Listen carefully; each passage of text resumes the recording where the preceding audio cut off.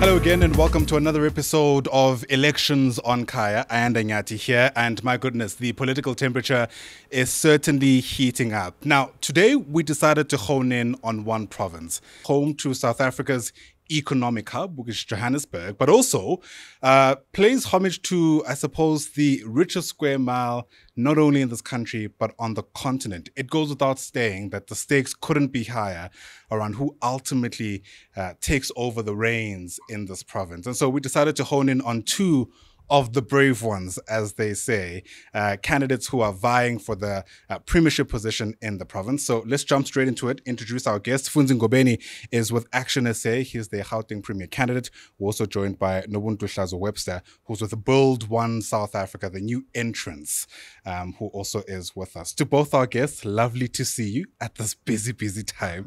Thank you for popping by. And we'll jump straight into it. You know, we now know, yeah. given a, a recent update from the IEC, that Gauteng's actually one of the most contested provinces in the country. No surprises about that. 42 political parties, two independents. The obvious question still needs to be asked, which is, Nobuntu, why on earth anybody should choose you? That is a good question, and that's a question I love to hear. Um, so, thank you for having us, and thank you for this platform. Um, important to have the discussion and to hone in on Gauteng because it is the political battleground in yep. this election. So, the reason you've got to choose me, the reason you've got to choose Build One SA, is that we have tabled a plan that is particularly for Gauteng. Gauteng has been historically the economic hub in the country, um, and when we look at it today we can't say that's what it is. You can't say that Gauteng is the economic hub when you have an electricity and water crisis that looks the way it does, particularly most recently the water crisis. You can't say that when you have the levels of unemployment that we have in the province. You cannot say that um, when we're looking at the state of businesses, particularly small businesses in this in, in this province and the way that is. And so my own experience has been first of all in working as a in, in, with a consulting firm that speaks to economic development. And so i've worked in economic development for um, various provinces mm. consulting to them. That's the first thing.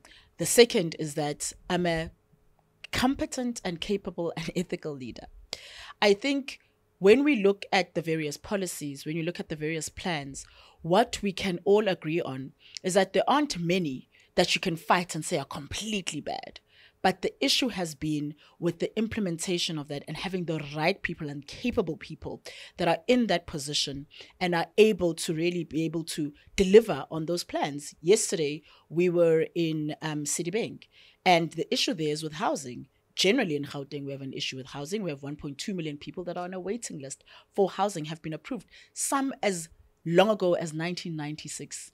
Now, they is a plan to house people, but it hasn't happened and isn't happening. And it's because we've got the wrong people in leadership. We don't have competent leaders. We don't have ethical leaders in, in leadership. Lastly, and I think most importantly, I have always been someone who's worked with communities and in communities. I've been in business and I've worked with community led um, organizations, and I sit on a number of board of community led organizations. And at my heart and at my core is delivering to communities.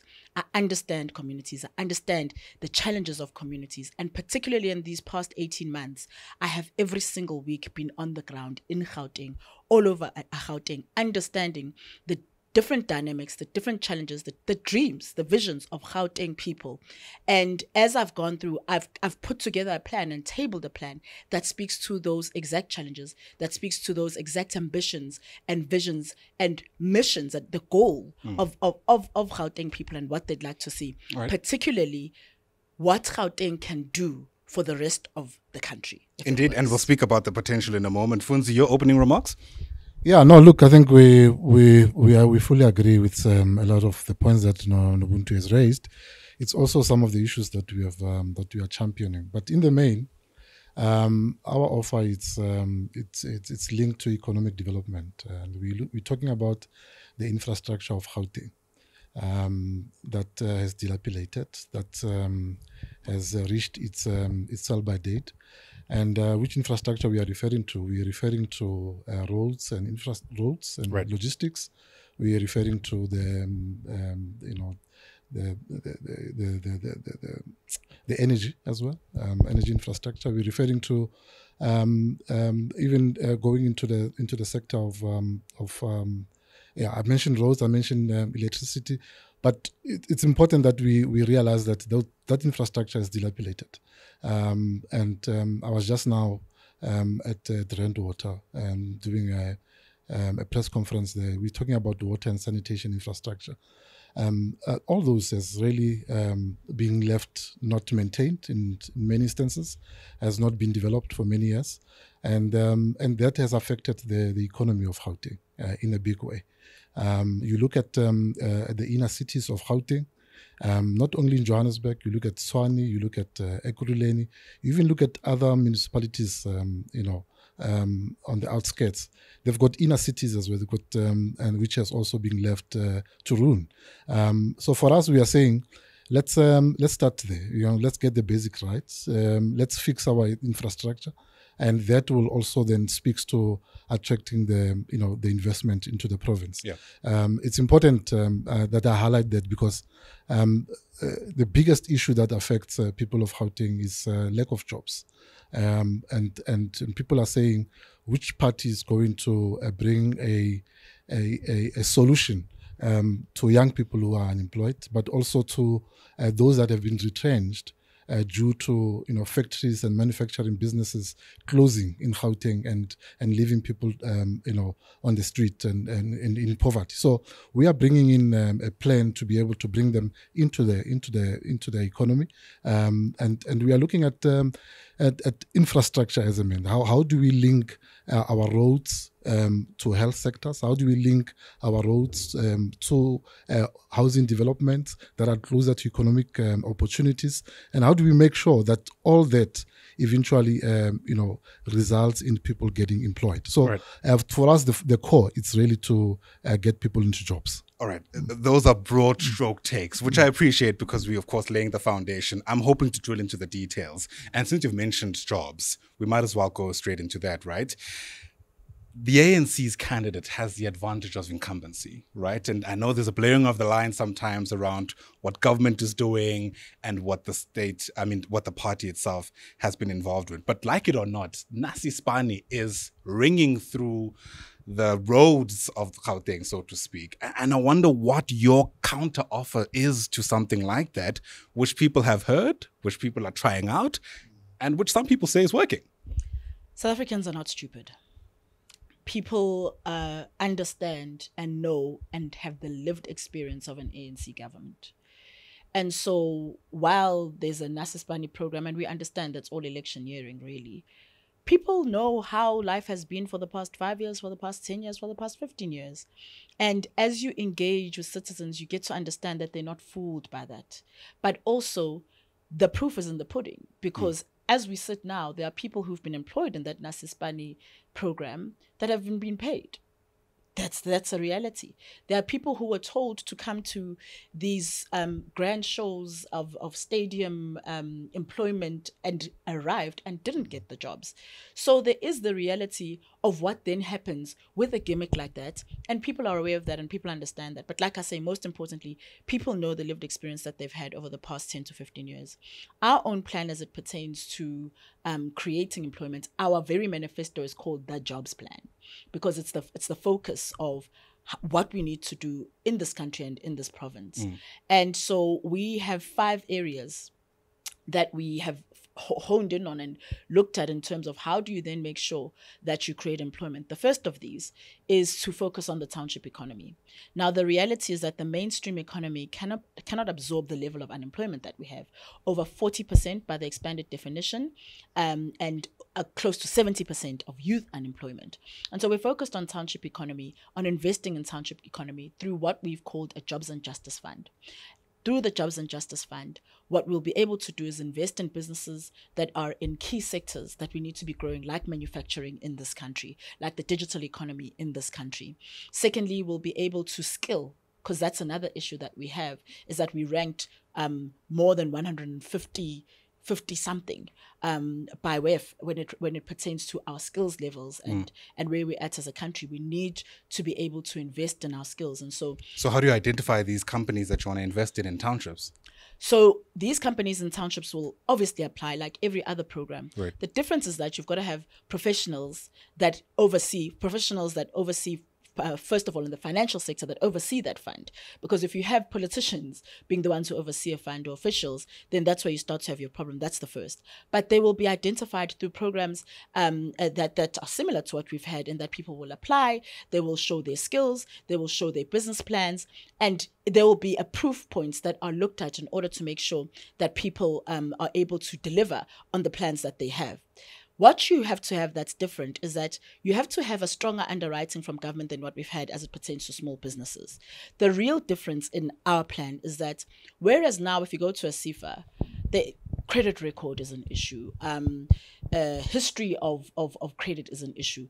Those are things that have to be underwritten by government if we're going to change things. I mean, I remember being a young person um, applying to the NYDA for a business loan and being asked for a payslip but I was like, but I'm an entrepreneur Mm. and I'm trying to build a business. Why, how, why do I need to have a pay slip um, in order to be able to to get funding? So that's the the, the, the key differences. People will have to show their skills. They will have to show uh, proofs in their business plan, but we'll underwrite a little bit higher than government does. Uh, in fact, significantly higher than business does, and making sure that businesses are able to get that funding and right. that investment. And, and Funzi, a big issue is usually barriers to entry, right? I mean, I suppose Nobuntu has touched on that in a way, asking for things that people simply don't have. Experience is another very common one. 27 year old has never worked a day in their life, but they did their part, which was to go to school and get the degree. How does Action SA get them a job? Yeah, I mean, the, the young people who are leaving school needs to be accommodated somehow, you know, um, and we are proposing that we're going to uh, bring them into the into the public sector uh, voluntarily. They can uh, go and work there, um, whether it's in military, whether it's in police, uh, so that they can get experience. Um, Many will tell you that the public sector is falling apart. They don't want to go there. What's your response to that? Yeah, no, they, they- I think there's, uh, I mean, uh, it's a choice. It's voluntary, you know. Um, that's an option that they can tap on, and it, and and and but over and above that, we. We, we, want to make, make sure that, that this economy is able to absorb them. So we've got this opportunity fund that we are that we've been talking about. It's um, 30% of that opportunity fund.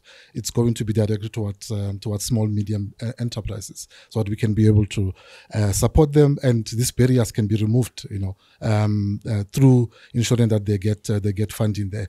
Um, but we also acknowledge that most of our of our labor and people who are unemployed are unskilled um, and and and that's uh, obviously the, the consequence of our education system. That's the consequence of our of our history as a country, um, and the, most of them, um, if you look at places like Hammanskraal, you look at areas like Garankuwa, they were absorbed by factories and manufacturing uh, industries that were surrounding uh, that area. Uh, most of them have closed down. You know, um, uh, some of them have moved to Rosslyn and so forth, but um, uh, uh, uh, most of them are sitting at home. So how do we absorb them? And th- that's what we are saying. Let's take over these um, factories that are dilapidated. Let's give them to the private sector, uh, those that have got means to be able to redevelop them, and and and then and, and let's let's give them conditions. You know, um, we did that in the city of Johannesburg with uh, with with Mashaba when he was the mayor, and uh, there was a lot of uptake uh, from the private sector. So let's let's take over these buildings, let's uh, rejuvenate them. Um, let's turn them into into student accommodation, into business hubs, and um, and and let's con- start you know developing artisan skills for the country for the future as well. So Right. so those are things that we have to do because uh, unfortunately we we have to do something for young people, but we must never forget the over 35s that uh, that are sitting at home Sure. because they've been retrenched and so forth. Fair enough. Uh, you know, as you're speaking, uh, of course, Action SA and, and BOSA have things that are different, but there's also a lot that's in common. And I'm going to take it to both your leaders and their political histories. A common question that's come up in our interacting with potential voters is this idea of uh, people seemingly, right, at the level of perception, not committing to a certain political idea. And it doesn't help that both Herman Mashaba and Mmusi Maimane once belonged to the same organization and are now preaching a completely different message. The question becomes one of assurance, really, more than anything else. That the promises as they laid out here at the moment are promises that you'll see through once the opportunity to actually see them through arises. Briefly, let's address that. What is your question exactly? Um, what's your response to voters who are worried because of a trust deficit in the political system that because people change their allegiances over time, that that will happen once again once they give you their vote? Look, um, Mmusi Maimane was with the DA for over 10 years. Um, and really, the, the the the move was one of a principal move um, in terms of him, and, and on that basis, and you know we started. I'm co-founder of Build One SA, and we mm. started Build One SA because there was nothing that looked like it um, as an alternative in this country. And when I say that, is that our model is about um, choosing leaders from communities, asking communities to choose their own leaders. Our candidates are all endorsed uh, by communities, by at least 1,000 signatures of communities, and they've all been nominated by communities. And that's something that's different. So in, in, in, in leaving the DA, really the reality is that there was a principle, um, there was a principle issue there. But in starting Build One SA, Build One SA is something that is different, is something that is committed um, to making sure that South Africans are duly and, and, and really represented um, by people who are chosen by communities. There's a commitment to stick that through. And there's a commitment to make sure that in everything that we do, it is representative of communities. So whether regardless of who's there and who's not, that principle remains and that model remains. And whatever we're doing, even in our policies, remains a representation of what South Africans want. So that is the that is the essence of the party. And what you can be committed to is that whatever happens will always be something that's come from communities, that's endorsed by communities, and that is representation of communities. Right. Funzi, you've also worn yeah. a different t shirt before. Yeah, yeah, of course. And we I think um, we always say that uh, people must judge us on what we do rather than what we say, because we we are going around the country, around the province, uh, making a lot of, um, of, of, of, of, commitments and promises, um, but they must uh, they must look at our track record. And uh, the nice thing about South Africa is that we vote every second year. You know, it's national. We're going to have local government. If we fail them and we don't deliver on what we have said, and they've got an opportunity to punish us in two years' time. They don't have to wait for 20 years, 30 years, two years. They can be able to say, You have. So, the, the positive about um, our president is that he was a mayor for three years. Uh, he ran uh, one of the most successful uh, coalition. Um, I was um, in uh, in the executive with him, and I was working as a leader of executive business. We managed our coali- coalition uh, for three years without any problem. And um, remember, we also had EFF, which was not in the coalition, but we managed to work with them. And, uh, and we delivered in three years. In many cases, people are saying in that three years we, we delivered more than the party that was there for more than for more than 20 years. An issue of title deeds, for example. Um, we, we, we gave out title deeds, more title deeds than what Parks Tau and the team that worked with him for 10 years couldn't do. You know, um, so with political will, with leaders of integrity, people that are that loves their country, that are patriotic, um, they'll be able will, will be able to deliver. And um, but we are we are quite clear that um, uh, you know voters um, must uh, must not wait for many years mm. to punish politicians. They must be able to use this democracy um, to their benefit because right. that vote it's um, it's it's the weapon that they have to deal with politicians. And if we do that. Um, the last couple of years, if that's anything to go by, then a lot of punishment needs to be dished out, right? Especially when you look at how coalition governments, especially in the Gauteng, have fared over the past couple of years. And Funzi, so I'm going to ask you mm. that question because Action SA has experience insofar as this is concerned, right? Things haven't gone well, let's face it. And we see it in the material conditions of Gauteng uh, residents. The streets, even in the leafy suburbs, aren't in the states that they should be. And that's a direct result, some people might say, of politicians ultimately not being able to get down with the job. So, if you're judged on that performance, do you reckon Action SA should be punished? I mean, we have been uh, one of the coalition partners that have uh, hold our colleagues accountable uh, without fear. Um, we don't go into coalition uh, to make friends or to uh, when you are doing something wrong we must then uh, try and defend you and close ranks as ANC and others will say. Give us an example of that happening. I mean in in in in, in and uh, the issue of Rooiwal um, you know we we held the mayor accountable. Um, uh, um, uh, Mayor Randall Abrahams, you know, up until the, his party had to take a decision to remove him. It was not by choice. It was because we, as Action SA, we said there's something wrong that this man has done. Um, there's there's corruption that has happened in the value chain there, and people need to be held accountable. He was not willing to take action, and we complained to the coalition about it up until he was removed. There was a um, a, a, a, a deal that was supposed to happen, um, selling off of uh, of our infrastructure, electricity infrastructure in Tshwane. We had to um, ensure that that report doesn't go to council and uh, and that the right process needs to be followed. So we hold them accountable every time when they do something wrong. The strike that happened in Tshwane, which it shouldn't have happened in the first place, you know, we stood up as a coalition partner and said this must end, and we brought in the the, the, the unions um, and we sat around the table. The strike was um, was resolved. So we are saying that it's possible. Coalitions can work if parties respect each other. But also, most important, uh, Ayanda, is that we need a government at the provincial level to also play their role. Remember, there's COGTA there, you know, and COGTA has a constitutional responsibility of holding municipalities accountable. But every time you know? the ANC's MEC tries to intervene, he's accused of political interference. No, no, no. Um, uh, there's, there's, laws that needs to be followed. I mean, let's make an example with Emfuleni, for example. Uh, you know, uh, uh, uh, the provincial government supposedly intervened in 2018 um, nothing has happened. In fact, things got worse there because they were not intervening genuinely. They were going there to loot themselves as the provincial administration. You know, they tried to do that in Tshwane. Well, the, the, you know, for for about what eight months, ten months, they were in government.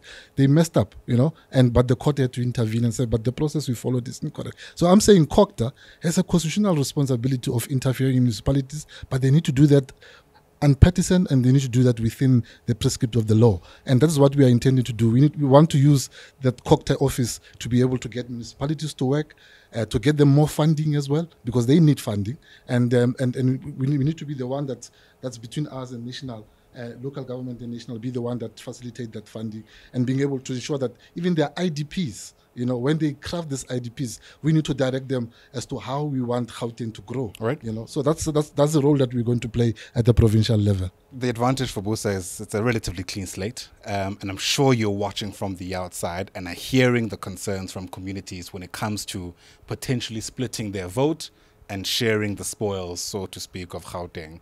How is BOSA hoping to affect that dynamic? Look, I think as South Africans, for a long time, we lived in a one party dominant um, kind of government, mm. and we got used to that as a norm. But when you look at um, how we are structured, we really are set up for a multi party democracy. And I think we have to, as South Africans, start engaging and embracing that kind of governance. And as Build One South Africa, we are very ready to work with um, other political parties, uh, including Action SA. Including Action SA, okay. uh, absolutely, because we have to that's how it's going to that's how that's how it's going to have to work. First of all we have to make sure that as it pertains particularly to coalitions we have the right kind of frameworks at the start and we're in it for the right reasons. One of the issues that has happened is that people come into the negotiation table and they're discussing coalitions on the basis of who gets what the spoils, as you say, who gets which position, um, who has proximity to the purse, and that's really what's the con. I mean, we've already just heard um, the EFF saying they'd go into coalition with ANC at national level, uh, provided um, a, a, a, I think Floyd Shivambu has given finance, uh, Minister of Finance, right. and it, it can't be about that. It's got to be first of all, what do we what what do we feel we're strongest at? As a party. We, I mean, we feel very strongly about our jobs plan. Like I said, I spoke to you about uh, our jobs plan, about township economy. We have plans of making townships special economic zones. We have plans of having um, special certificates for upskilling um, of, of, of, youth in townships. All of that. We feel strongly about that. And we've done a lot of work in that. And that is something that we would want to make sure that we're able to table and that we're able to implement. So let's have a conversation about that rather. If Funzi says, I feel strongly about infrastructure, let's have that conversation about how how do you then what you have expertise in and what you've worked hard in, how do you have the opportunity to implement that? Let us implement this aspect of it and let's have that conversation. Let's also have frameworks that govern how this coalition works. How many motions of no confidence are you able to put on the table?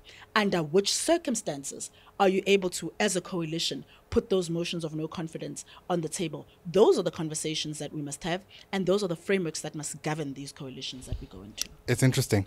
What we know so far, with just weeks to go to the elections, is the demographics of who's going to be voting, right? Um, the IEC telling us that I think it's 58% of people who are registered and who are on the voters roll are women.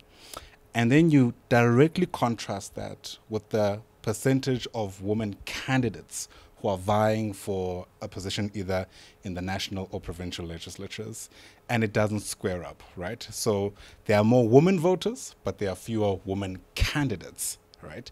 People who are watching this very closely might have their own questions around why that is, and I don't want to be stereotypical in any way. So either one of you who's able to uh, speak to that uh, is, is is free to do so, and hopefully you can offer a solution, right? Because I don't think women are not interested, for example, in politics. So what is it about our body politic that's not resonating? I feel very strongly about Go for it. I, of course, feel very strongly about this. So, a couple of things. Um, our society, first of all, it's a societal issue. It's how women are positioned, it's how women are viewed in society. But the more you see of women in leadership who are leading credibly, who have their own agency, who are not there as proxies of men and their own agendas, the more we'll be able to trust women and see more, more women in leadership. That's the first I've got to say. The second is the media has a very big role to play in this. The media will, when inviting, um, for instance, guests to a conversation like this, invite them by name. Um, I believe I was invited by name to this conversation. Ola Gauteng Premier candidate, it makes sense. But the media plays a very important role. There are candidates, and the media plays an important role in making sure that there's platform that's given to those women candidates. That's important. The media has a role to play um, in making sure that we hear the voices of those candidates and see those candidates. Lastly, the parties themselves. So, um, as I've mentioned before, I'm co-founder of BOSA, and when we started the party, I had lots of women asking for a women's league or a women's chapter, and I resisted against that and said no because what is likely to happen when a party is still young is that women candidates, women leaders will then most likely you know, run to being in the to leadership in the women's chapter and not in the party itself. So then the obvious give- question is, why aren't you the BOSA leader then? to give a well, I'm not the BOSA leader because we have somebody who's more experienced than me. And because I'm one of the people that wanted him to be leader in this instance, doesn't mean I won't be leader. But having said that, we also lead together. We lead the party together. We make decisions together. Um, and, and we, we co-lead the party. And that's important for people to know as well. People make an assumption that mostly because I'm a woman, I'm there and I'm a token and whatever it is. I see that all the time, and that's not true and that's not real. So our leader is a man because it's a decision that a collective of us made. I was one of those people because of the experience that he has, because of the recognizability, favorability, but most importantly, because he's the right person to lead this chapter, this season of the start of our party. Doesn't mean that he's going to be the leader of the party for till kingdom come. Okay. I think I mean um, on our side we are. Uh, I think all of uh, all of us we are we are new parties and we we as we grow, you know, I think we'll get more. But um, on, in our case, for example, here in Gauteng, I think uh, on our list um, that's going to legislature, um, the top ten, I think, is dominated by women. It's probably 60-40, um, you know, um, and and that didn't happen because uh, we were engineering it. Um, it happened because capable women came forward, and um, and and they are in leadership position. You know, our region here in Gauteng, in Johannesburg, uh, where we are, is led by a capable women. Um, um, Emma More, you know, and um, and if you look across the across the country and you look at our candidates, you'll see that we've got um, women in the in Mpumalanga, in the Western Cape, who are um, in the Free State, who are going to be premier candidates, who are our premier candidate and who are going to legislature. If you look at our national uh, list, you know, you'll see quite a, a lot of you of women and young people uh, represented there as well. So I, I think uh, I agree with Nobuntu that um, you know uh, it, it takes um, all of us as society, you know, changing our mindset and um, and, and and being able to be uh, intentional on what we want to achieve, and uh, and I think that will happen. Um, in Action SA, we are quite comfortable that uh, that is happening. Probably the challenge with established parties. I think that's uh, that's where we need to uh, really zoom in that, you know, because I mean, when was the last time we see um, uh, ANC having a, a, a, a woman premier? Yeah, that was Nomvula Mokonyane. She was the last one, you know. Oh, Um, to be fair, now she's in the top seven, so maybe that's not the greatest Yeah, example. but- But, point made and point taken. All right, I, I completely hear that. Uh, look, I, you know, I I've tried very hard to to allow the points to be made because I think it's important for people to hear you out. But what is not lost to me is that there are people who are so disillusioned that they struggle to hear anything. Ten seconds, which is the time we've got left for each of you. For people who are saying, I'm not even going to take part in this because everybody says the same things and nothing changes, what's your word? 30 years voting for the same political party. and and that's what you're getting from um, from people. Say we have been voting, we've been, vo-" but the crux is that they've been voting for the same party. Um, let's now um, change our mindsets. Let's let's vote for something new. Uh, let's let's give these political parties um, that are contesting now an opportunity, and then judge them on their action. You know, don't don't wait for 30 years to then punish them. You know, um, um, punish them in the next election. Um, uh, but it's important that they must come out to vote because our country actually depends on them. You know, uh, we are we are we are approaching the disaster in every front, like in water, in electricity, in unemployment. You look at it. You know, all all factors that you can look at, they are really uh, being challenged. So it's only the voter that can be able to rescue South Africa, and we are asking them to really be brave. Uh, we know it's difficult. I used to vote for ANC. Um, one day I decided to vote for another party, and that was the beginning of my freedom to understand that I can use this vote um, to be able to change South Africa. So we are calling on them to do that. And uh, 29th of April, of May, they must vote for Action SA. All right. And that's the time we have. We could speak till the 29th of May, but I'm sure you've got some business to get down to. Thank you for popping by at Kaya House. Really do appreciate you speaking to us. Nobuntu uh, Hlazo-Webster with Build One South Africa, Funzi Ngobeni with Action SA, and you, of course, always with Kaya. Thanks for watching this installment of Elections on Kaya. Make sure, of course, to always stay tuned for our next episode.